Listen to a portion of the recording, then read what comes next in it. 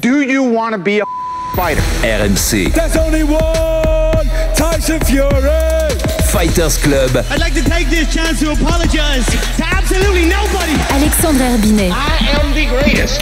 Bonjour à toutes, bonjour à tous et bienvenue au 198e numéro du RMC Fighter Club. Un RMC Fighter Club qui remonte dans la cage et poursuit la tournée des, des combattants et combattantes qui seront à l'affiche du plus grand événement de la rentrée des sports de combat ce samedi à Core Arena de Bercy, la deuxième édition de l'UFC Paris. Et pour ce dernier épisode de la semaine, on a l'honneur de recevoir ce qu'on a déjà appelé dans cette émission comme le vrai main event de cette UFC Paris, avec la meilleure combattante française en lice pour aller se chercher un title shot chez les moins de 57 kilos. Madame Manon Fiorot, bonjour.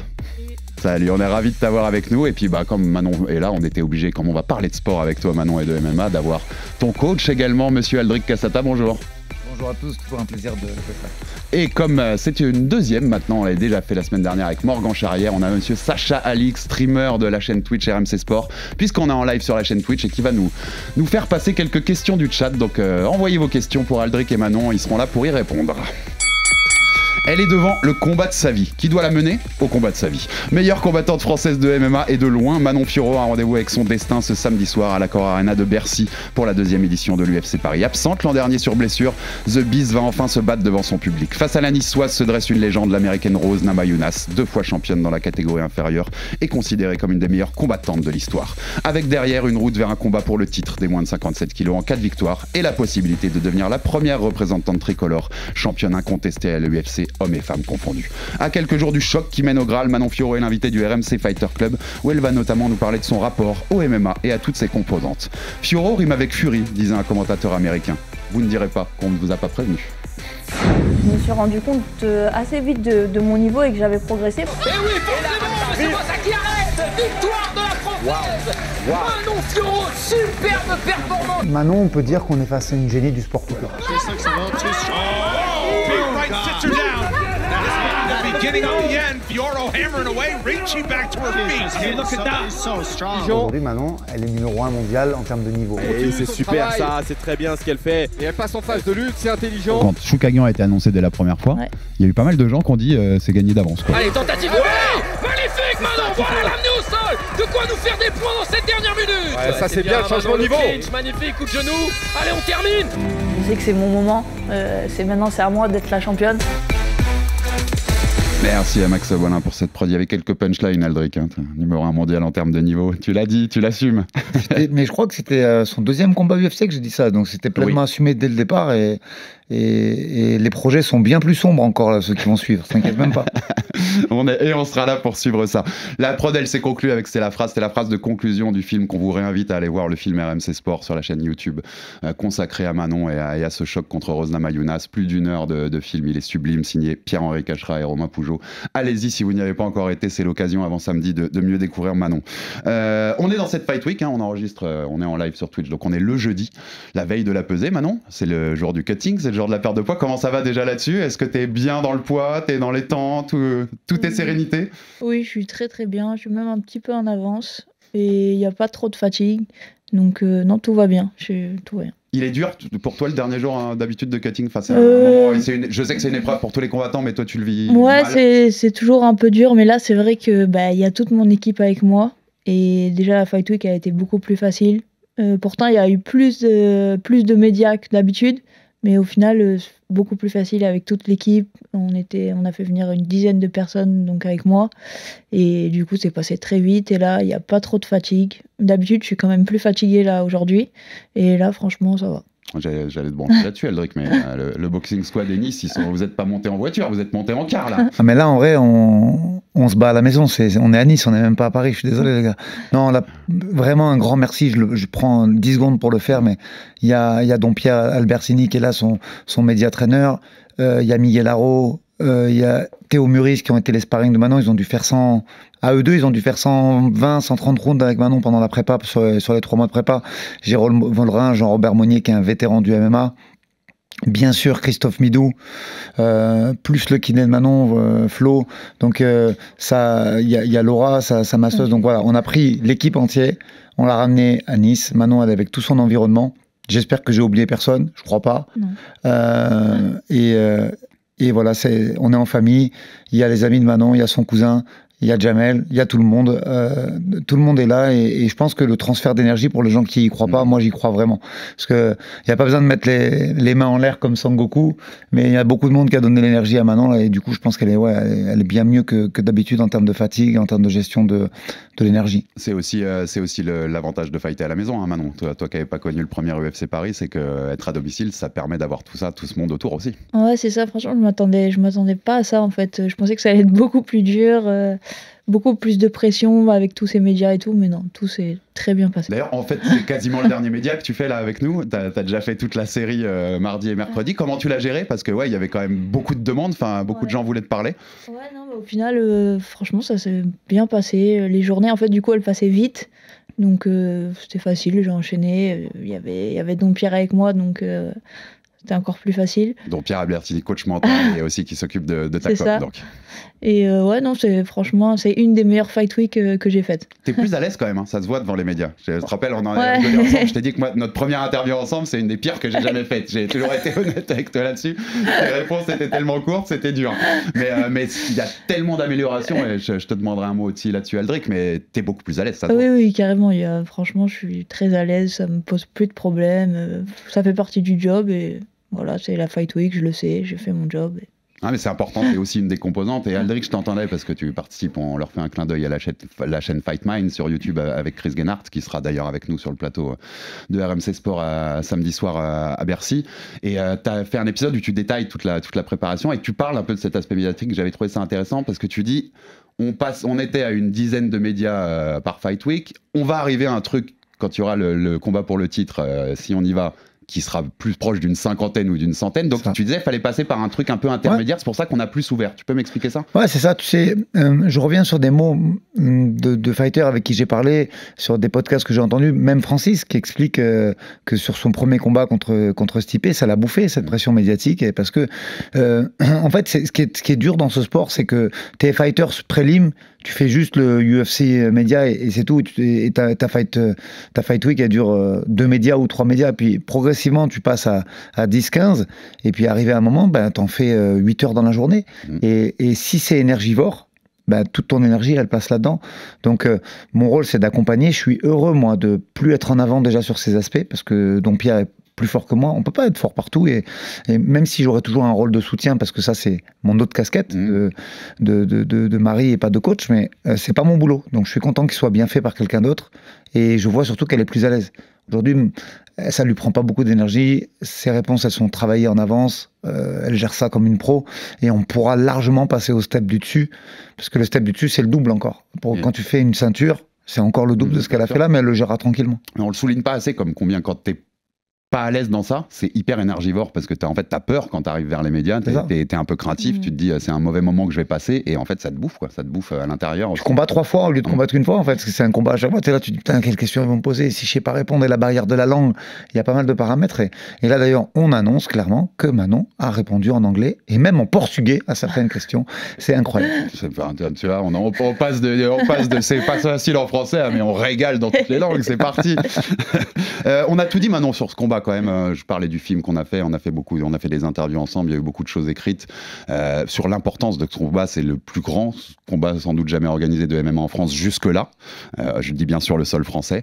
Euh, c'est une légende en face, je disais top 5 euh, de tous les temps en MMA sûr. féminin, on est d'accord. Tu ressens une forme de pression ou pas du tout? C'est Il y aura aussi ton Euh, public, les 15 000 personnes Ouais, qui c'est t'attendent? ça, il y a une pression, mais je pense euh, comme, comme chaque combat, et chaque combat euh, est plus difficile à chaque fois, donc forcément, euh, à chaque fois qu'on avance, il y a une pression supplémentaire. Et là, c'est, enfin, pour moi, c'est juste un step de plus euh, vers la ceinture. Euh, donc oui, j'ai une pression, mais en fait, c'est, je suis tellement contente en fait d'affronter Rose que la pression elle diminue un peu. Mais euh, voilà, je reste focus. Je sais que c'est quoi qu'il arrive, ça va être une des adversaires les plus expérimentés que je vais affronter. Donc on s'est préparé pour ça. T'as été fan de Rose? Ouais, carrément, ouais, j'ai été fan, j'ai toujours regardé ses combats, son style, même sa personnalité et tout. Voilà, mais ça va pas m'empêcher de lui faire du mal samedi soir. On le sait bien. Euh, un autre point où je voulais t'interroger, c'est ce côté quand même porte-drapeau aussi du, du MMA féminin en France. Euh, Julien Casier, qui partage, euh, qui sera sur le plateau également, euh, le, patron de la Gracie Bar à Paris et qui partage des émissions avec nous, me disait que quand, quand on a diffusé le film, beaucoup de filles de- qui sont dans sa salle sont venues le voir et lui ont dit J'ai vu ce film. Et Manon est une source d'inspiration énorme. Et euh, certaines qui faisaient du JJB ont dit bah, Je veux faire du MMA parce que je veux imiter Manon. quoi. Je veux faire ma, ma- ma Manon. Il y a même de, euh, Thomas Desson, notre présentateur, qui disait que son fils voulait devenir, Thomas, voulait devenir Manon Fiorot depuis qu'il avait vu le film. Comment tu comment tu t'abordes ce truc-là, ce côté porte-drapeau, notamment pour les femmes? C'est vrai que moi aussi, du coup, après le- la sortie du film, j'ai reçu beaucoup de messages de femmes, de, de, de- de filles, d'enfants euh, qui, voilà, qui voulaient me prendre pour, euh, pour exemple. Et non, pour moi, c'est une fierté parce que je Mm. pense que je représente euh, des bonnes valeurs, euh, voilà, de, en termes de sport, en termes de. Voilà, j'essaye d'aller au bout de mes rêves et si, si ça peut inspirer d'autres personnes, pour moi, c'est une bonne chose.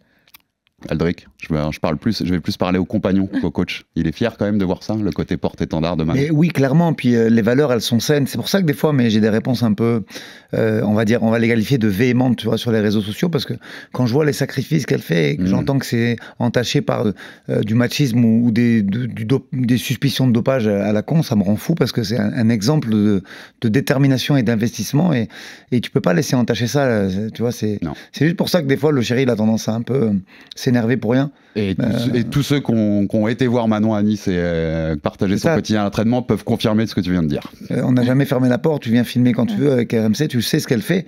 Et donc c'est pour ça que des fois je m'énerve un peu parce que le travail il est exemplaire. C'est un exemple même pour les autres fighters pour moi. Moi maintenant aujourd'hui, elle, même, euh, je suis, elle, elle booste même les autres garçons de l'équipe quand ils voient l'investissement qu'elle met et l'intensité, ils se disent ouais, je Ouais. lâche pas, tu vois. Ouais, je dois, je dois être à la hauteur, entre guillemets. Sacha, est-ce que le, le chat est déjà présent et nous propose quelques questions pour Manon ou Eldrick d'ailleurs, ou les deux Il y a pas mal de questions, justement. Il me parlait de, du côté réseaux sociaux et du côté mental. Il y a une question de Dreamas qui dit la hype, elle est importante, elle est méritée au vu de tout ce que tu as fait. Mais est-ce que, par exemple, on peut anticiper le côté contre-coup qu'on a pu voir avec Cyril Gann, par exemple, où il y a eu des retournements un petit peu là-dessus? C'est des choses sur lesquelles vous le travaillez ou pas? Quand tu fais un combat, si tu y crois, tu penses pas à, perdre, on y va. Mais ça m'effleure même pas. On- tu sais que la, la performance de très haut niveau, euh, pour moi, un favori, quand je dis sur mes podcasts, tu vois, c'est 65 euh, ou 80, 20, tu vois. Donc il y a toujours euh, une blessure qui peut arriver pendant le combat, un mauvais coup. Mais si tu penses à perdre, tu vas pas. faut Mm. même pas réfléchir à ça. Donc non, on y va pour qu'elle explose et pour qu'elle récolte le fruit de son travail. On n'a même pas pensé à une contre-performance. Et il y avait une autre question pour toi, justement, Aldric. C'est V de Boutini qui disait est-ce que euh, c'est prévu ou est-ce que c'est des choses qui ont été faites d'aller dans les camps d'étrangers, d'aller chercher d'autres fighters, d'autres sparring pour ce combat-là? Tiens, mais tu je vais être très concis sur ma réponse. Euh, Je comprends, et je l'ai déjà dit sur d'autres podcasts, que- qu'un fighter il puisse s'équilibrer à l'étranger. Parce que en France, tu peux avoir la famille, l'environnement qui t'empêche d'être à, fo- à fond dédié à, ta, à ta pratique. Pardon. Après, moi, je suis content de voir. Il y a quoi 8 fighters sur cette carte français? Neuf. Neuf, ouais. Ouais. Est-ce qu'il y en a un qui s'entraîne à l'étranger C'est moi qui vous pose des questions, les gars. Mmh. Qu'il y en a un non, qui s'entraîne à l'étranger Ils peuvent aller faire des stages comme Morgan l'a fait, comme Fares l'a fait, mais Son oui, main, son, le, son- main, son le main main gym n'est pas aucun- pour aucun, il est à l'étranger. Donc euh, aujourd'hui, maintenant, elle a un niveau de notoriété qui nous permet d'inviter des gens chez nous, sans qu'elle soit déphasée par euh, la bouffe, euh, le décalage horaire et tout. Donc, de temps en temps, il est. Écoute, je mets un petit scoop chez RMC. Il n'est pas impossible qu'avec Christophe Midot, on aille faire un petit tour au Texas dans un endroit où on fait du grappling. Parce que Austin John Danaher, pour ceux qui n'auraient pas compris la ça, c'est référence. possible avant la fin de l'année, mais c'est surtout pour la dépayser. Aujourd'hui, maintenant, son entraînement, il se passe principalement dans son dojo à elle, et c'est les sparring qui viennent à elle et qui s'adaptent à son entraînement, parce qu'elle est numéro un mondial, point. Et euh, puis, puis on vit bien à Nice. hein. On est plutôt, Ouais. c'est C'est plutôt la belle vie quand même, Manon. hein. Et On va donc. Pierre, il est en short aujourd'hui. Il est venu, à, il est à Paris, il fait 20 degrés, il est en short, tu vois. Donc euh, Nice, on, on sait bien vivre. C'est Manon, quand t'entends par exemple ce que nous dit Aldric, quand même l'idée d'aller à Austin chez John Danaher, qui est donc le grand coach, hein, le meilleur coach au monde de, grappling. euh, c'est- toute l'école euh, des Craig Jones, euh, des Gordon Ryan, même s'ils se sont séparés depuis. Ça te donne envie, toi? T'as envie d'aller, tu vois, de te confronter quelques jours à ce, niveau-là de grappling qui est le sommet, au fait? Ouais, c'est ça, parce que c'est vrai que des fois, même si on fait venir des sparring, que je sais qu'elles sont bien classées et tout, j'ai toujours un petit doute, je me dis ah, peut-être qu'ailleurs elles sont encore plus fortes. Donc, ouais, j'ai bien envie pour aller me, me tester, même si j'ai pas de doute sur mon niveau en fait, mais oui, c'est un- c'est un- une chose que j'aimerais bien faire. Ah, ça peut que apporter. Hein. Ouais. Tu vois qu'un Volkanovski se tourne vers Ouais. Craig Jones pour ses combats, quand son combat contre Marachev notamment, euh, tu sais qu'ils apportent des trucs ces gars-là, a priori en tout cas, même pour le très haut niveau. Avant de rentrer dans, dans le thème principal qui était ton, ton rapport au MMA et au sport, je voulais quand même parler de, parce que comme on se voit cette semaine, il y a eu le combat d'Erin Blanchfield contre Tayla Santos, numéro 3 et numéro 4 de ta catégorie, la semaine dernière à Singapour. On n'en a pas trop parlé euh, enfin, ensemble avec toi, même les médias, je trouvais qu'ils t'en parlaient pas trop hier. Euh, victoire de Blanchfield sur une décision.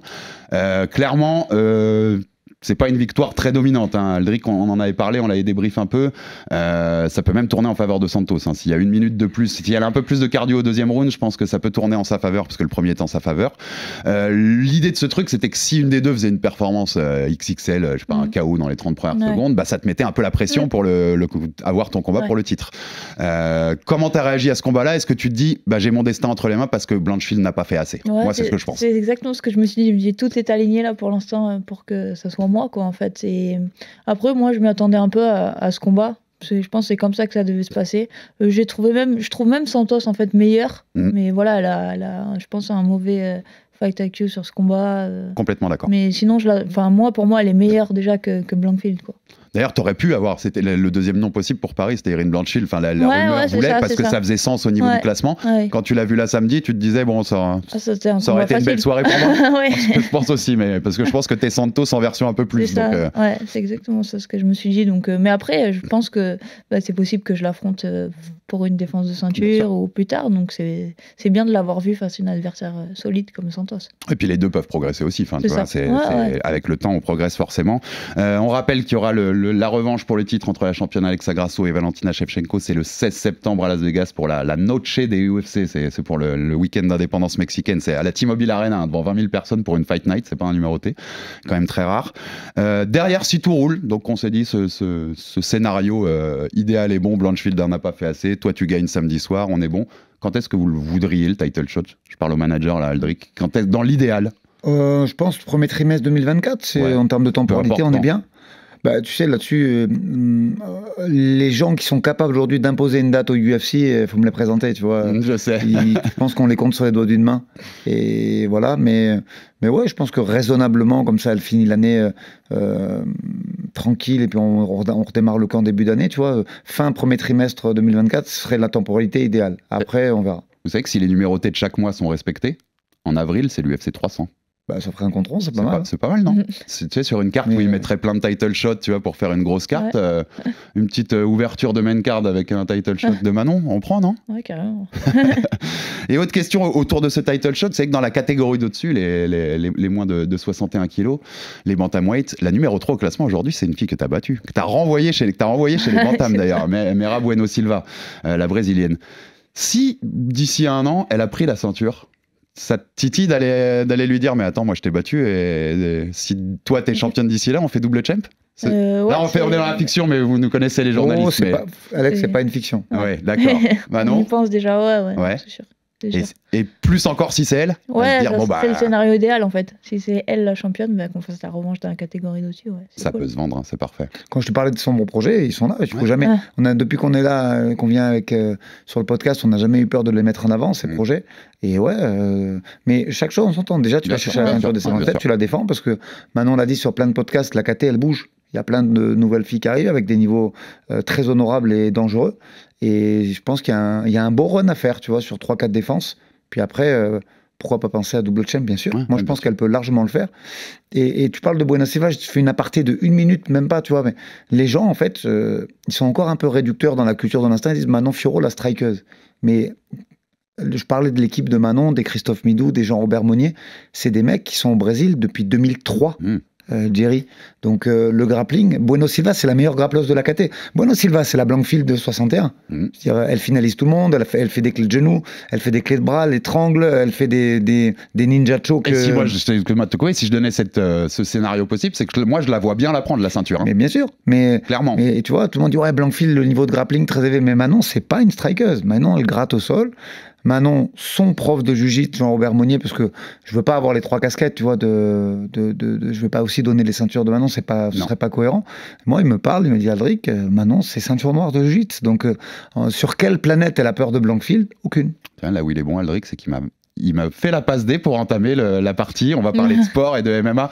Euh, Sacha, juste avant qu'on entame ce thème, est-ce que tu as une autre question du chat euh, Ouais, une question de Kaido justement qui rebondit sur le combat que vous évoquiez, pardon, de Blanchfield. Il disait euh, comment est-ce qu'on interprète le fait que Blanchfield soit passé devant toi au classement? C'est vrai que j'ai regardé ça, ils l'ont mis juste au-dessus. Après une performance qui finalement était pas plus emballante que ça, pas significative Je finalement. pense que c'est juste parce qu'elle a combattu avant moi. Là, moi, une fois que j'aurai fait mon combat, ben, ça aura changé. C'est le timing, on est C'est le d'accord. hein. timing.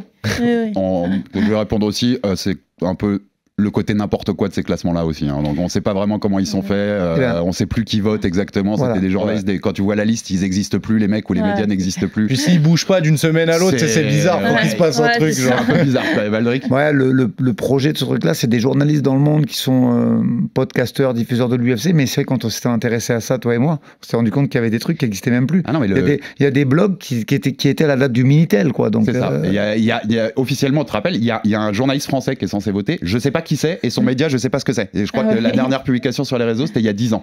36-15 quelque chose. Voilà, donc euh, écoute, si cet homme-là vote vraiment pour le ranking du UFC, force à lui, hein, force à lui s'il nous écoute, parce que là pour le coup, euh, c'est un grand mystère.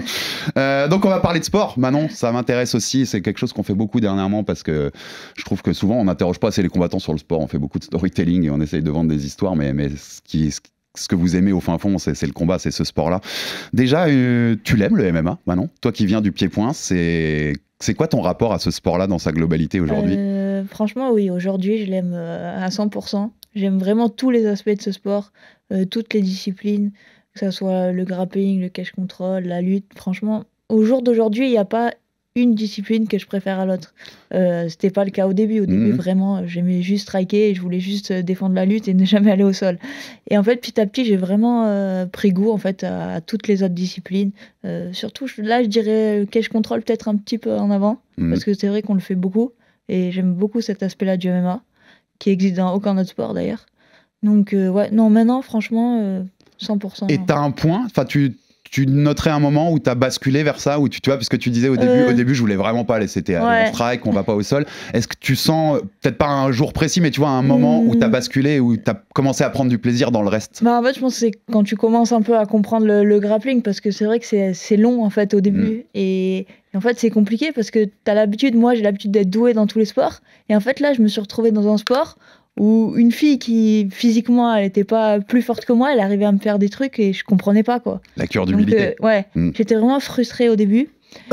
Et en fait, c'est quand j'ai commencé à, bah, du coup, à moi, à placer des soumissions, arriver à, à faire des renversements, enfin, des, à battre des filles euh, de mon niveau, quoi, entre guillemets. Là, j'ai commencé un peu à aimer ça, mais je pense que ça a pris au moins, euh, ouais, un an, je pense. Ouais, minimum. Ouais. Mais t'as raison, à mon- à mon humble niveau, hein, pour être honnête, euh, j'ai fait quelques cours de, de JJB avec Julien Casier, et je crois que c'est le deuxième cours où il m'a mis son neveu de 14 ans qui m'a absolument lavé pendant 10 Ah, minutes. que. Donc c'est un cours ouais, d'humilité, voilà, tu comprends, ok, j'ai beaucoup de progrès à faire, beaucoup, beaucoup. Aldric, comment tu l'as vu cette évolution de Manon sur son rapport au MMA Tu sentais au début que c'était, elle traînait un peu les pieds pour aller sur certaines parties et que maintenant elle y va avec plaisir? Euh, alors, franchement, je, je vais parler de choses, mais il y a toujours eu un aspect euh, compétitif exceptionnel. C'est-à-dire que euh, moi, j'avais une compétitrice au club euh, qui gagnait pas mal de podiums en bleu-violette, et son la première semaine, je l'ai mise avec Manon et Manon, elle a trouvé des solutions pour la battre. Mais au début, c'était vraiment un duel très physique et il y avait. C'était presque pas technique les solutions. C'était pas du tout, disons-le clairement. Et en fait, son évolution, en fait, ce qui est fou, c'est que euh, normalement, tu as vu, la temporalité, elle est longue. C'est pas pour rien que ce sport, il faut faire 10 ans pour être ceinture noire, c'est que les progrès sont. Et, et- et ce qui était étonnant avec Manon, c'est qu'elle était vraiment capable de progresser de semaine en semaine. Et, et- et pour juste te donner une idée de 5 ans de- d'entraînement de Manon, la première semaine, une fille qui faisait des ménages dans un hôtel et qui s'entraînait deux fois par semaine, elle, elle, elle a pris le dessus sur Manon sur un entraînement. Mais qui était D'accord? ceinture violette quand même. Qui était ceinture violette. Ouais, ouais. Ceinture Et au bout de trois semaines, déjà, la fille, elle voulait plus s'entraîner avec Manon. Trois semaines. Ok. T'imagines le gap Mm. Oh, Trois semaines plus tard, la fille m'a dit non merci, je veux plus venir parce qu'elle perdait les rounds, tu vois. Et cinq ans plus tard, il y a Ouais, des donc filles on est qui très font- rapide quand même dans ce, ce- ce switch quoi. Et je vais te dire, je vais pas donner de nom pareil parce que ça, ce qui se passe à l'entraînement reste à l'entraînement, mais il y a des filles, plusieurs, que tu vas voir cet après-midi, puisque je crois que ça démarre cet après-midi, les mondes de, de Jiu-Jitsu euh, au State, Ouais, à Las Vegas. à Las Vegas. Et il y a des Où filles, Julien Casier d'ailleurs, dédicace à lui. dédicace à Amandine Layek aussi, et il y a deux ou trois filles que Manon est capable de rouler avec et même de prendre dessus, qui seront, euh, qui, qui vont faire cette compétition cet après-midi, ça c'est 5 ans après. Tu vois, donc on passe d'une d'une fille qui, qui, qui fait, qui travaille dans le nettoyage et qui fait ça en loisir euh, il y a 5 ans, aujourd'hui des filles qui, ont, qui sont en ceinture noire, qui font les mondes de Jiu-Jitsu, c'est que elle est capable de rouler avec et voire même de les battre. Et au-delà de ses capacités, euh, sur l'évolution de ses capacités, toi, tu as senti une évolution dans le plaisir, comme elle disait? T'as- Tu sens vraiment que. Ah, il a fallu trois piges un peu quand Ouais. même. hein, ouais. Il a fallu euh, deux ou trois. Franchement, il a fallu deux ou trois ans parce que euh, mes entraînements sont durs. je suis ouais. adepte des drills.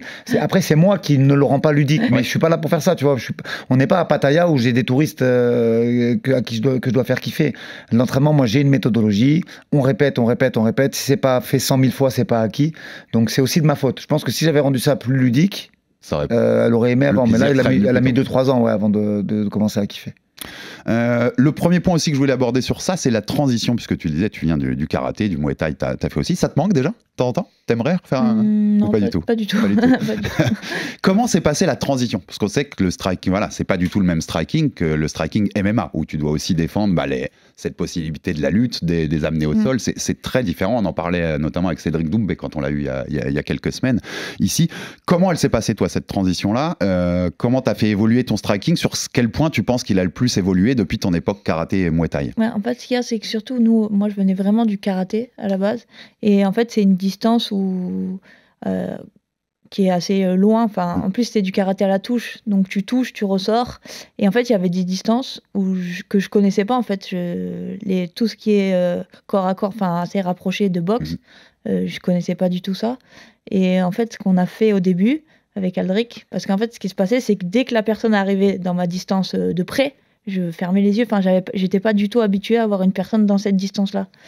Et donc, au début, Aldric, il a décidé que euh, pour m'apprendre à boxer dans cette distance, ce qu'on faisait, c'est qu'on faisait des rounds de boxe. Du coup, au début, je m'entraînais qu'avec lui en plus.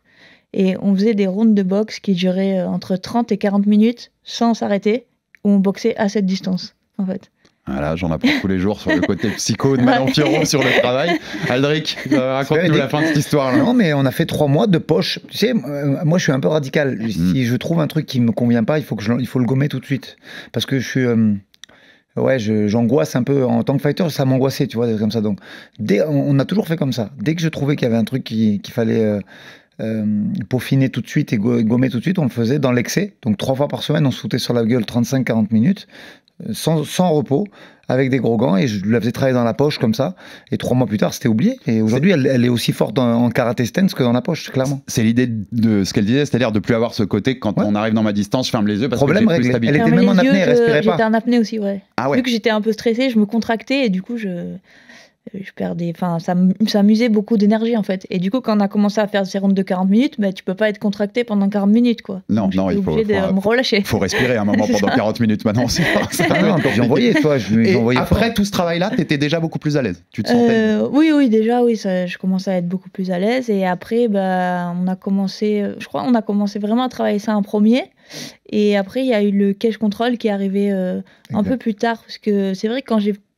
Je me souviens quand j'ai fait mon premier combat pro euh, au Cage Warrior, ça faisait pas très longtemps en fait que je m'entraînais euh, au boxing. Donc on avait travaillé euh, toutes ces distances, un peu de grappling, un peu de truc. Mais on n'avait pas encore bien travaillé le, le cage control en fait. Mm. Et je me rappelle que surtout sur ce combat, j'étais gênée en fait quand je me retrouvais contre la cage. Savais pas je quoi savais faire. pas, c'est ça. En fait, je, je savais pas ce qu'il fallait faire, quoi. Mais on va en parler, c'est un de Ouais. mes thèmes parce que je sais qu'Aldric est un. Moi, j'adore son idée d'avoir des, des ceintures pour le cage control. Je sais, je connais ton idée sur ça et d'avoir des gradations parce que c'est un vrai art en fait Mm. le cage control Bien et sûr. qui est unique au MMA, donc euh, ça, ça devrait aussi être récompensé. Finir là-dessus sur ce striking, on sait qu'il y a eu quand même des, des, des grands champions qui sont venus du karaté. Mm. Dans, dans- bah, toi, toi, t'en es un exemple aujourd'hui, un Lyoto Machida. euh, on a aussi des champions qui adoptaient la, la stance karaté, la pose karaté. Mm. On pense à Conor McGregor qui l'a longtemps fait et qui était plus efficace quand il était comme ça que Ouais. quand il a voulu jouer le boxeur, euh, Conor d'ailleurs. Euh, c'est des modèles aussi pour toi Tu t'es inspiré T'as regardé de la vidéo de ces, de ces gens venus du karaté ou qui adoptaient la, la stance karaté? Euh, oui, bah, au début, quand je, je, je m'entraînais encore en karaté, c'est vraiment Lyoto Machida que je regardais. C'était le premier mec que j'ai regardé et qui m'a inspiré du coup à venir au MMA. Et dans mes premiers combats, c'est vrai que je m'inspirais beaucoup de ces gens-là. Euh, Lyoto Machida, même Georges Saint-Pierre. Aussi, Euh, ouais. Et Connor aussi, bah, que j'ai ouais, j'ai bien aimé, enfin surtout au début, ces combats.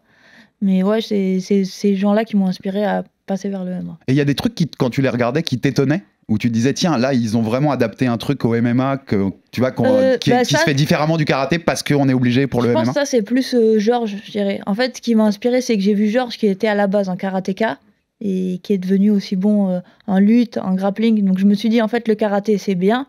Mais moi, ce que je veux, c'est voilà, ressembler à un Georges Saint-Pierre, c'est que je veux être forte partout après. Donc j'ai vite essayé d'être aussi forte en lutte, en grappling, en cache contrôle. C'est une question large, Aldric, mais comment, toi, le coach, qui, qui n'a pas que Manon dans, dans ses troupes, comment on transforme une karatéka en, en strikeuse de MMA Mais euh, Au-delà de ce premier travail dont tu nous as parlé. Est-ce qu'il y a des points oui, oui, clairement, il y a des points. Euh, moi, je trouve que la garde qui se rapproche le plus de la garde de lutte, c'est la garde de boxe anglaise. Donc, euh, Manon, elle a raison dans, l'historique de notre apprentissage. On a commencé par la poche et après, on a beaucoup, beaucoup, beaucoup peaufiné l'anglaise. C'est-à-dire que le, deuxième axe de travail, après, bien sûr que sur le côté grappling, il y avait le cache control et tout, mais si on s'oriente seulement striking, le premier travail, c'était la poche et après, on a vraiment travaillé sur l'anglaise pure, le jab et, et- et faire des sparring d'anglaise. Aujourd'hui, c'est une routine pour Manon. D'ailleurs, Petite dédicace à Alicia Boudersa qui est venue nous aider, euh, qui a fait une vingtaine de rounds avec Manon sur, euh, sur une des premières semaines du camp. Et, et- et c'est- aujourd'hui, on peut dire, et ça a été validé par plein d'experts de, de la boxe anglaise, Manon, c'est une boxeuse. Elle, a- elle aurait le niveau pour faire de la boxe anglaise en pro. Oh, je vais être encore plus méchant que toi, elle aurait le niveau pour faire de la boxe anglaise au niveau mondial, ouais, Mm. clairement. Euh, pro, c'est facile. Pro, elle gagne déjà, euh, mais facile sans préparation. Non, elle aurait le niveau pour pouvoir faire un combat mondial euh, de, de boxe anglaise. ouais. Ouais, mais t'as raison qu'en plus pro veut rien dire en sport de combat. C'est un des rares sports, le sport de combat, où on peut dire qu'on est pro. hein. Moi, je vais demain, je dis, je prends un combat à 200 euros dans une obscure truc, je suis professionnel en fait. tu vois. Mais ouais, donc clairement, elle elle avec un peu de préparation, elle fait une ceinture mondiale en anglaise, ouais, je le dis clairement. Clairement. Ça, c'est des choses qui t'intéresseraient, toi, de tester un peu la boxe, tu vois, en Euh, pure boxe? Ouais, franchement, on y, on y pense souvent, puisque bah, du coup, c'est vrai que je m'entraîne souvent avec des boxeuses et j'aime vraiment beaucoup maintenant faire euh, travailler l'anglaise. Et ouais, franchement, je pense qu'après, euh, en fin de carrière, j'aimerais bien euh, finir avec quelques combats en boxe anglaise. Ouais, ça, me pla- ça me plairait bien de voir ça aussi. On va passer à tout ce qui est cage control et, et grappling et, et sol aussi. Sacha, avant, est-ce que tu as une petite question de- du chat? Ouais, et juste euh, pour euh, ceux qui connaissent pas trop, qu'est-ce que ça peut apporter comme point fort et comme point faible, le, cette fameuse euh, stance karaté que vous évoquiez tout à l'heure, le fait d'être en posture karaté? Euh, Une fra- eh, je te dis une phrase déjà, le, le toucher sans être touché, c'est ça en fait. Pour pouvoir être capable de faire ça, il faut être à une distance en fait où toi tu peux toucher avec un déplacement, mais l'adversaire peut pas te toucher. Donc c'est safe, ça te permet de marquer des points, ça peut te permettre de récupérer. Maintenant, si tu veux Ouais, bah, ce qu'il y a, c'est qu'en en MMA, on a des petits gants. Donc en fait, c'est compliqué comme en boxe anglaise de monter, de monter les mains et d'avancer. Tu vois, il y a des trous partout. Et là, la garde karaté, elle est beaucoup plus adaptée parce que tu rentres, tu sors, le mec il peut pas te toucher. Donc avec des petits gants, c'est quand même plus adapté de faire ça qu'une garde de boxe anglaise. Hmm. Et vous êtes plus sur des appuis aériens que des appuis ancrés, c'est ça? Ça dépend de la distance. Sur le, Ouais. sur le karaté stand, c'était aérien. Et par contre, quand ça rentre, comme il faut défendre la lutte et Voilà. pouvoir frapper fort pour repousser un, et ou se proler, il faut, il faut baisser les appuis. Ouais. Ok. Et ça, c'est quelque chose qui doit rentrer, c'est de l'automatisme en fait. C'est la répétition du travail qui fait que tu l'as en automatisation. Ouais, c'est ça. En fait, au début, j'étais trop euh, karaté, justement, trop euh, pas sur mes appuis, quoi. Je, je sautillais tout le temps. Et là, pour défendre la lutte, du coup, c'est compliqué parce que tu rentres. bah, Ouais, tu peux même te faire bien slammer. En fait. tu vois, t'es sautillant et t'attrapes. Donc tu dois quand même modifier ce truc-là du karaté. Tu gardes ses appuis, mais il faut savoir aussi être posé sur ses appuis. Tu dois garder les deux. Ouais, parce qu'en fait, tu peux aider presque au tech d'un adversaire en étant Ouais. sautillant. Ah t'as- Tu participes au mouvement, Tu au mouvement l'envol. l'exemple de, de Thompson. Thompson, il sautille, mais il arrive à un moment, si ça rentre dans la poche, il vole. Mm. Il- Stephen Thompson. Ouais, euh, le combat contre Belal, c'est ce qui s'est passé, tu vois. Il l'a pas respecté en striking, il l'a lutté et c'est passé. Mm, Ouais, tout à, tout à fait. C'est intéressant de, parler de tout ça. On, rentre dans le côté cage control et grappling parce que ça m'intéressait énormément. Avant, avant le sol pur, ce cage control. Donc, Aldric, je le disais, toi, tu es un fervent défenseur même de donner des ceintures. C'est quelque chose, au-delà de Manon, enfin Manon comme tes autres euh, élèves, c'est quelque chose sur lequel tu insistes beaucoup, Aldric Je pense que s'il doit y avoir une patte boxing squad aujourd'hui, parce que souvent les gens ils disent entraîneur de Manon. Je dis bon, ok les gars, entraîneur de Manon, mais, mais ne manquez pas de respect à mes autres athlètes. Non. Axel Sola, Virgil Hogan, euh, Mehdi Dakaev et, et, et Elias et bien d'autres. Et je pense que malgré que tous ces mecs-là, ils ont des styles diamétralement opposés pour certains, ce qui les réunit tous, c'est le cash control. Tu, tu me dis, vas-y, trouve un point commun entre Manon, Virgile, Ilyes et Axel, par exemple. Bah, dans le style, il y a peu de points communs, sauf Sauf ça. Cette connaissance du cash control, Donc le- le- offensif, défensif. On l'a même pas traduit d'ailleurs, contrôle de la, contre la cage, hein, en fait, pour nos, pour nos auditeurs. Et je pense que le point commun principal de mes gars, c'est ça. C'est que c'est il y a de la solidité, il y a surtout un savoir-faire. Ils sont capables de tout faire de là, que ce soit du contrôle poignet, du two on one, du underhook, qui connaissent les, les protocoles, ils savent faire tomber, ils savent défendre la lutte de façon défensive ou proactive, tu vois. Qu'est-ce qui te plaît, toi, dans le catch control maintenant? Parce que tu l'évoquais tout à l'heure, tu disais c'est un des points qui me plaît le plus. Qu'est-ce que t'aimes dans ces- Euh, cet art, comme je le disais? Parce que c'est- c'est un art. Je pense que c'est le fait vraiment de mixer en fait. Tu frappes, tu, tu, tu mixes les frappes, la lutte, tu pars d'un côté, de l'autre côté, tu fais tomber, tu relèves. Enfin, c'est franchement, il y, y a tellement de, de techniques en, en cache control. Euh, c'est ça, et c'est le fait que ça soit dynamique en fait. Des fois au sol, tu vas être un peu plus posé, Mhm. et là, le cache control, je trouve que tu. Enfin, surtout le mien, en fait, je vais bouger dans tous les sens. À t'écouter, j'ai l'impression que ce qui te plaît aussi, que ce soit dans le catch control, mais dans le MMA globalement, c'est le côté, il y a, y a beaucoup de possibilités. Ouais. On, ouais. s'ennuie jamais parce qu'on change toujours de ce qu'on travaille, on, on travaille différentes choses, et c'est vrai que quand on fait que du karaté, on travaille que le karaté pour le coup. C'est c'est partie du plaisir pour toi? Ouais, c'est ça. En fait, j'ai l'impression tu peux toujours apprendre de, de nouveaux trucs et de nouvelles techniques. En karaté, bah, au bout d'un moment, de toute façon, tu as quatre coups. Donc, euh, bon, c'est compliqué de- d'évoluer à chaque fois. Et là, en fait, j'ai l'impression de tout le temps évoluer, en fait. De changer même des, des choses de mon jeu. Euh, là, je trouve que déjà, mon grappling et mon catch control, il est différent de mon dernier combat. Mhm. Je fais encore des nouvelles choses, donc ouais. Ouais, alors que tu es déjà au top Mm. niveau mondial, mais ça continue d'évoluer. C'est c'est quand même hyper intéressant et ludique même dans un sens en fait ça. Euh, je sais que vous êtes aussi euh, amateur de, de l'idée de chain wrestling, la lutte en chaîne, euh, que faisait beaucoup notamment un, un Rabib, euh, Norman Magomedov. Mais tu peux nous expliquer un peu ça, Aldric, sur quoi t'insistes là-dessus? Sur la lutte, de toute façon, il y a, alors, on a la chance quand même que maintenant, elle capitalise les deux. Mais moi, pour la, sur la lutte, il y a deux grands trucs. Il y a le timing. Ça, tu l'as ou tu l'as pas. Et ça, c'est la capacité de faire tomber du premier coup. Mais, mais ça, à haut niveau, bah, ça défend. C'est-à-dire que toi, tu as le timing, mais la personne en face, elle l'a aussi. Donc, c'est le chain wrestling qui va faire que tu es capable de, de mener à bien ton takedown. Et tu regardes sur des combats de très haut niveau, c'est au quatrième ou cinquième attempt, c'est-à-dire euh, attempt, tentative, ouais. euh, que euh, ça fait tomber. Et donc, si, si tu veux pas, si ça, ça, ça peut pas être binaire le MMA, c'est-à-dire que c'est pas, Ouais, ça, je ça sais peut pas, j'essaye, je rate, je reset. C'est ça, ça, se prôle et je suis dans la merde. Il faut être capable d'enchaîner et de mettre les mains où il faut. Ça, j'aime bien Mi- Midou quand il dit ça, mais il, a tout- il résume tout quand il dit ça. Il dit, ouais, il faut mettre les, il met les mains où il faut, il est bon. Et c'est ça, en fait. C'est mettre les mains où il faut quand ça défend et être capable de transformer ton single en double, du double à passer dans le dos et de faire tomber dans le dos, être capable de faire encore autre chose avec. Et, et ça, pareil, c'est du drill. Ça peut être chiant. C'est au début énergivore et, et- et c'est la, et c'est la répétition qui fait que ça devient naturel. Et c'est du, c'est beaucoup de travail. Pareil, moi, c'est eh, trois séances, quatre séances par semaine qui sont consacrées à ça dans ma méthode. Euh, Manon, pour le sol pur, le, le JJB, le, le grappling, c'est quoi ton premier souvenir? Tu te souviens quand t'en as fait la première fois? Euh, oui, euh, Jiu-Jitsu, oui, je me souviens. C'était, euh, c'était juste, en fait, je, je venais d'apprendre que, ou je venais de me qualifier pour les, l'équipe de France amateur IMAP, Mhm. et, et du coup, je crois qu'il y avait la, le premier combat ou le premier rassemblement. Et en fait, je me suis dit, en fait, euh, j'ai jamais fait du jiu-jitsu, donc faudrait peut-être que j'y aille. Et ouais, j'ai fait un cours, et franchement, au début, c'était. Ouais, j'ai pas du tout aimé, en Voilà, fait. qu'est-ce que t'as ressenti ce En fait, j'ai pas du tout aimé, je comprenais rien. Je trouvais ça euh, long, hein, en fait, parce qu'en fait, on s'échauffe, donc je fais l'échauffement et tout. Même dans l'échauffement, il y avait des trucs que je comprenais même pas déjà. et euh, Je précise Et que après- c'était pas le mien d'échauffement. oui, oui, non, c'était pas au boxing squad. Et, et en fait, après, du coup, on s'arrête. Là, le mec montre une technique et tu restes debout, t'attends euh, 5-10 minutes. Enfin, je trouvais ça. Ouais. Moi, j'aimais bien courir, chiant faire des pour trucs. Ouais, franchement, ouais. pour moi, c'était horrible, chiant. Il montre la technique. En plus, je, je fais OK. Après, je me mets avec quelqu'un. J'essaye de la refaire, mais en fait, j'ai rien compris. Euh, le mec essaye de m'expliquer. Enfin, franchement, je suis sortie de là, j'avais juste mal à la tête et ça m'avait saoulé, quoi. T'as tellement raconté mon premier cours aussi. En fait, c'est une dinguerie. On vit tous la même chose en fait. Euh, à quel moment tu y as pris du plaisir? Co- Comment c'est venu ça? C'est la répétition, le fait, le fait d'apprendre et puis de commencer à comprendre en fait? Ouais, mais ça a vraiment mis du temps euh, parce que c'était vraiment des cours bah, pour tout le monde. Et même cette méthode-là, elle me convenait pas forcément, je Ce schéma-là, on l'a, tu l'as jamais fait quasiment Oui, avec moi. ouais, c'est ça, ça. Ça me convenait pas en fait, ce format-là. J'ai l'impression d'être à l'école en fait. Et Ouais. je- voilà, déjà à l'époque, j'aimais pas ça, mais là, j'avais l'impression que c'était l'école. euh, Voilà, en fait, on attendait, ils montraient la technique, c'était long.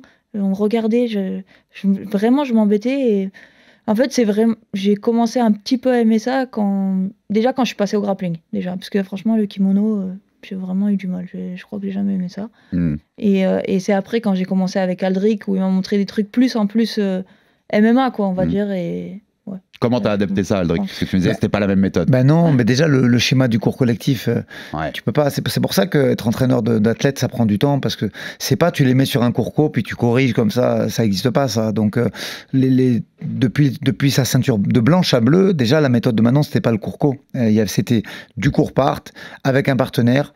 Alors je pense qu'elle aimait pas non plus, mais au moins c'était de l'efficient. C'est-à-dire que c'était du drill et qui la gavait, mais au moins qui restait dans sa tête. C'était de la rep technique de 20 minutes la même technique sur une heure, trois techniques, point final. Après, elle se cassait un peu la gueule parce que c'est le côté ludique qu'elle aimait bien quand même. Elle aimait bien la- l'aspect affrontement, mais euh, mais il n'y avait pas de courco parce qu'effectivement le courco, la technique est pas forcément adaptée à ce que le fighter veut faire, à ce que le fighter va mettre dans son jeu. C'est beaucoup plus long.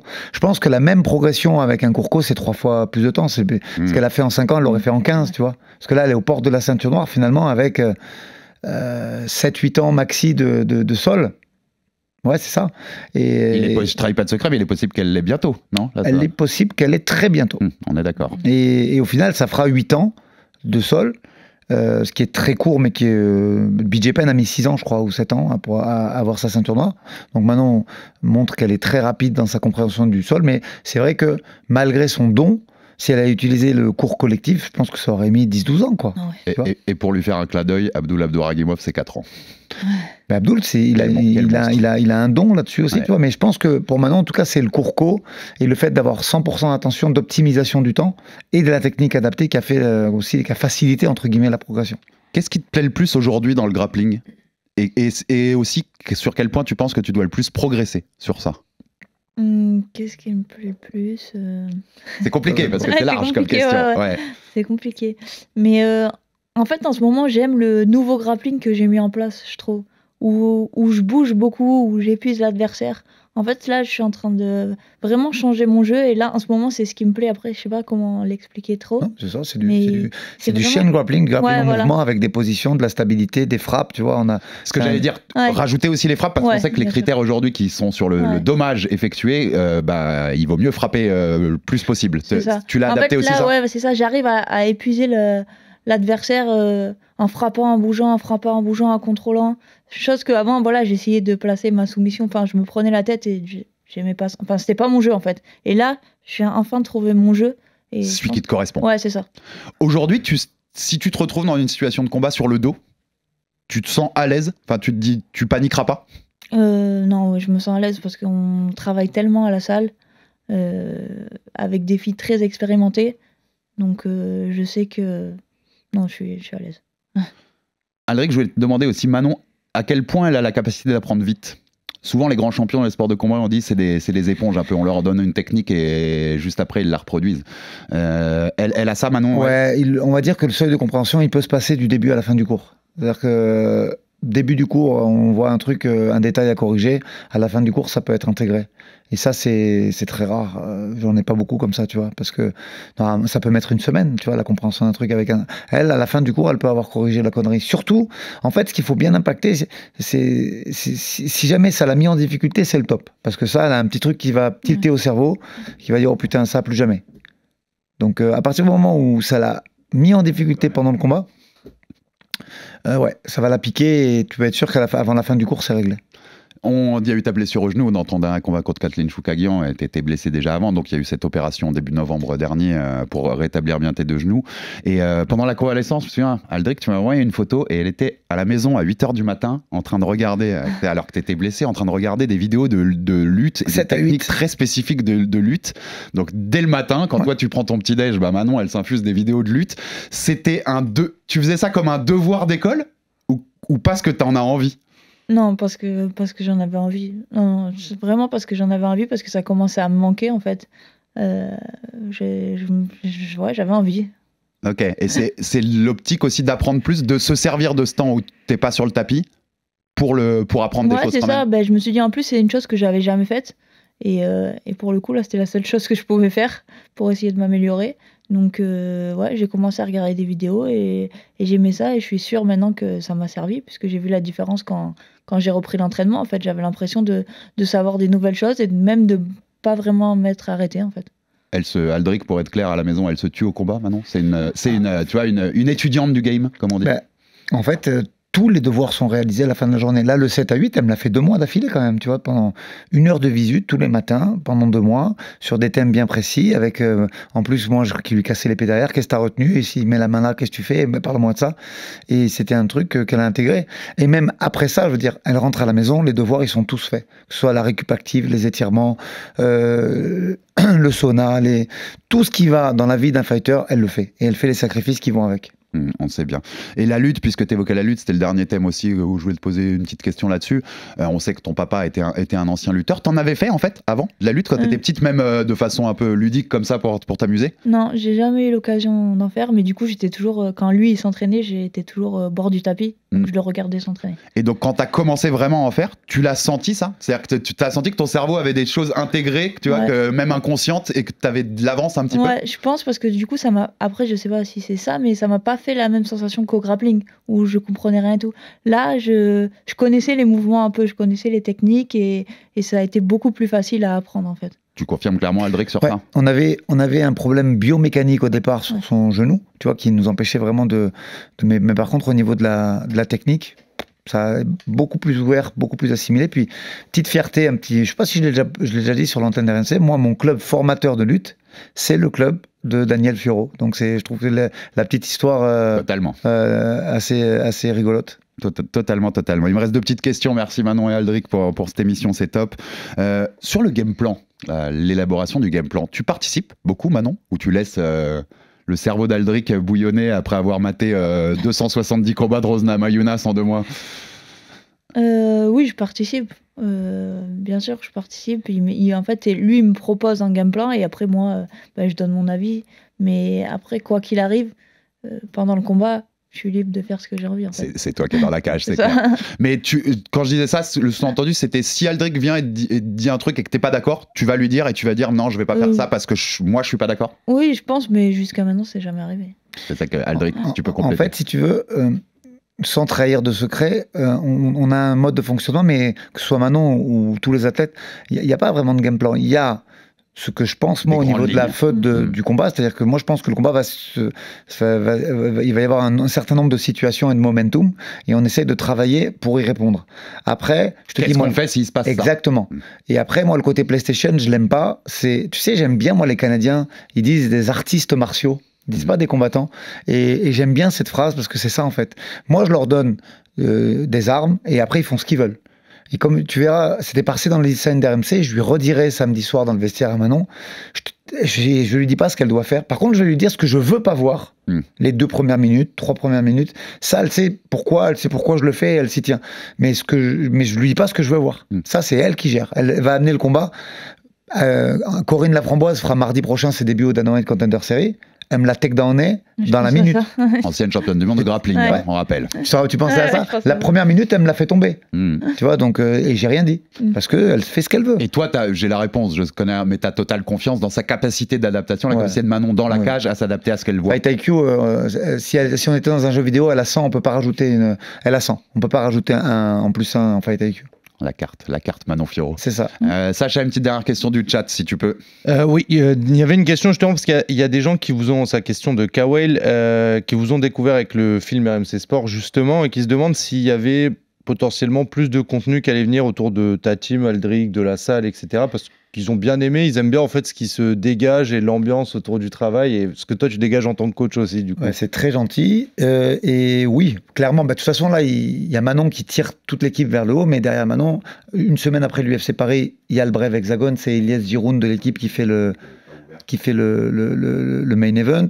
Derrière ça, il y aura très vite de l'actualité pour Virgil Hogan et Axel Sola, donc euh, Sofiane Boukichou qui va combattre à l'octagone. Donc clairement, il va y avoir de plus en plus de sujets, puisqu'en plus RMC, c'est la, la diffusion euh, exclusive de l'octogone, je crois. Donc, Ouais. euh, donc voilà, il y aura plein de trucs qui vont sortir. On va, on va faire, je pense, plus d'inside. On, planifiera ça par la suite, mais bien sûr. Et puis on n'apprend rien aux, aux- aux amoureux de MMA pour leur dire qu'il y a quelques petites pépites qui arrivent, les, les frères Meurice et d'autres. Il y a- même, moi j'ai vu, vu un phénomène de 16 ans, on citera pas encore son nom pour pas Mm. lui mettre la pression, mais j'ai vu un mec Voilà. au boxing de 16 ans qui m'a traumatisé ces derniers mois. Il récupère, il est un peu blessé. On lui passe le bonjour à Djihad. Allez, euh, Et une petite dernière, justement, parce que tu parlais du côté un peu jeu vidéo, etc. On sait que Manon Furo, elle a été rajoutée en toute fin du jeu UFC 4. Est-ce que tu as regardé les notes? Est-ce que ça correspond à ce que toi tu vois, Alors, Manon? Vraiment, j'ai regardé les notes. Euh, je crois que c'est un des meilleurs. Je, euh, je regardais un blog de jeux vidéo qui disait que je crois que c'était le quatrième meilleur, meilleur perso du jeu. Pardonnez-moi si c'est pas ça, c'est ce que j'ai lu, parce que t'imagines, on n'a même pas eu le temps de la brancher la console et de jouer. C'est-à-dire que maintenant, elle a son perso, on l'a pas testé encore. la charge de travail qui a été. Sa- Sachez que notre producteur, il prend tout le temps Manon, il vient de me dire. selon un blog, merci à Max pour le prendre maintenant, mais, mais selon la note de- de- d'un blog de jeux vidéo, elle a le quatrième meilleur perso du jeu. Je l'ai beaucoup croisé en ligne, c'est pas facile. Donc, euh, mais on n'a même pas eu le temps de l'essayer. Manon, t'es d'accord avec tes notes, toi? Euh, oui, mais pareil, j'ai pas, j'ai pas encore eu le temps de. J'ai l'impression que je crois que je l'aurais fait direct quand j'ai reçu la console de jouer avec moi-même. Je crois que ça aurait été peu importe ce que je préparais, je l'aurais fait direct. Vous aurez le temps après, après Rose, on, on- on prendra le temps de faire ça. Et ma, ma dernière, c'était quand t'arrêteras ta carrière de combattante. Euh, c'est sur ce rapport au sport justement. T'as envie d'être coach? T'as envie de, Euh, ou t'as envie de quitter ce milieu? Mais en fait, je me pose souvent la question et je peux pas encore y répondre parce que du coup, il me reste encore pas mal de combats et je sais pas du coup si à la fin je serais un peu gavé de tout ça, si j'aimerais Mhm. faire totalement autre chose ou si je voudrais entraîner. Mais tu sens que tu l'as un peu en toi? je pense que ouais, j'aimerais bien, je pense qu'on aimerait bien monter encore une plus grosse salle et, et pouvoir entraîner, ouais. Bon bah, merci pour tout ça. Merci Manon Fioro pour ta présence dans cette Merci. émission. Merci Eldrick Cassata. Merci Sacha et à tous les viewers euh, de la chaîne Twitch. Euh, juste pour vous dire, mais voilà, je- en début de semaine, juste avant qu'ils arrivent à- de, de Nice, j'avais Eldrick au téléphone et je lui ai dit profitez de cette semaine, c'est quand même votre première UFC Paris. Et il m'a dit texto, je cite on va pas profiter, elle vient casser une gueule et repartir à Nice dimanche matin. On est en mission. Voilà ce que vient faire Manon Fioro à Paris, sachez-le. Euh, Donc merci à vous deux, plein de force pour samedi. On sera bien sûr RMC Sport 2, RMC découverte aussi en gratuit pour le combat de Manon, puisque c'est dans les trois derniers combats. Vous ne raterez rien de cette UFC Paris et, la- et les combats de la préliminaire. Ce sera avec Sacha et votre serviteur sur Twitch. Donc euh, vous nous retrouverez sur la chaîne Twitch de RMC Sport. Abonnez-vous sur toutes les plateformes pour rater aucun épisode. Envoyez-nous de la force, des pouces bleus, des commentaires, ça fait avancer le bousin. Et à très vite pour un nouvel épisode du RMC Fighter Club. RMC Fighters Club.